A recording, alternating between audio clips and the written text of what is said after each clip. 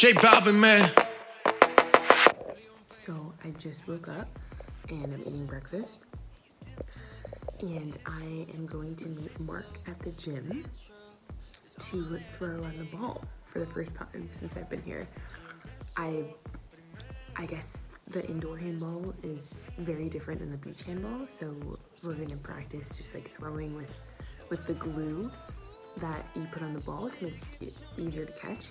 Anyways, I'll learn all about that in a couple minutes. I'm gonna bike to the gym and meet him there. And then after that, I have an appointment with the IND to get my fingerprint for my visa. It's called the biometrics appointment. So I made it to the gym and I'm looking for Mark, but check out this out. Oh, I love a nice open gym. Can't wait to start throwing around. So I just got done with my first throwing session with Mark and uh, Zion, another girl on the team, and I got to rush over to Rotterdam to do. You're back online. So I'll provide my fingerprint. Um, first, I got to figure out driving in a foreign country. First time for everything.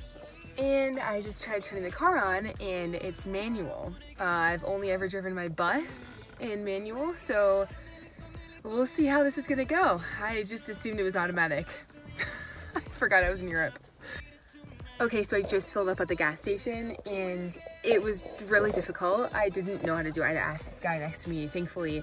Um, and I got it. Yeah, it's, it's weird. You have to pay at that little white station. Uh, but I pumped the gas, ready to head to Rotterdam and get the first step of my visa taken care of. Let's do this. I'm just going for it. Fourth day in Holland and I'm just, yeah, just uh, on a little road trip. Oh, here we go. Got to shift. Hopefully, I've only stalled once. Definitely in Holland, doing sustainability right with all of these windmills. Love it. To the Rotterdam. I love Audis. Okay, so I'm in Rotterdam. I magically found a parking spot. This place is packed. And I'm trying to find the IND or the Industry of Naturalization Services or whatever to get my visa thing. Uh, so hopefully find it and get this process rolling. So I just checked in for my biometrics appointment for my visa. So I just provided my fingerprints, all 10 of them. I'm surprised they didn't ask for my toes. Uh, for my visa and it, the whole process took, I mean, I got here literally 10 minutes ago and now I'm done. And now I just have to wait until I get told where I can pick up my visa. And it was the easiest most efficient process ever. I freaking love this country. If this was the States, this would take days. So I'm here at Rotterdam Central Station, Central Station, and it looks pretty high tech. People told me this is like a more modern Amsterdam, and I might just walk around and see what's here. Even look how beautiful these tiles are. God, they're so thoughtful with everything. Just a beautiful day here in Rotterdam. I'm assuming that's the capital. Oh, well, this is awesome. It's amazing. Something like that.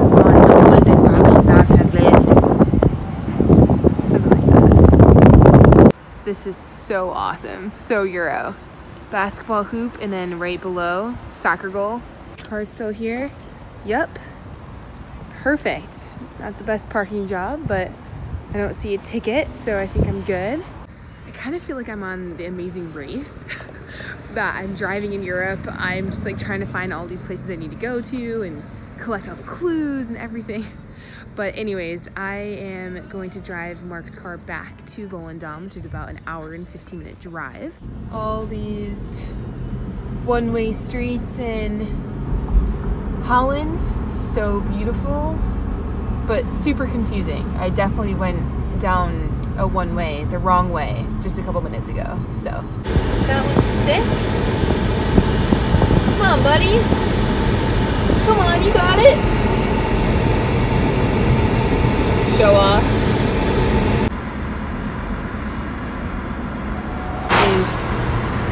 so beautiful. Look at all these cows. Just farmland everywhere. It's so beautiful.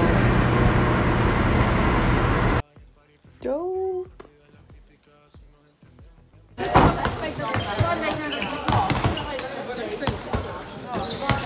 So I'm biking back from my first training with a whole team. I definitely the worst person there. it's you know, I, I think there's a lot of room for improvement. I know there's a lot of room for improvement. Uh, the biggest struggle that I had was honestly the glue. So, indoor handball, there's this like glue that they put on the ball, they cake it. So much glue. And it's like you hold your hand out and the ball sticks to it. You don't have to even grip it. It's crazy.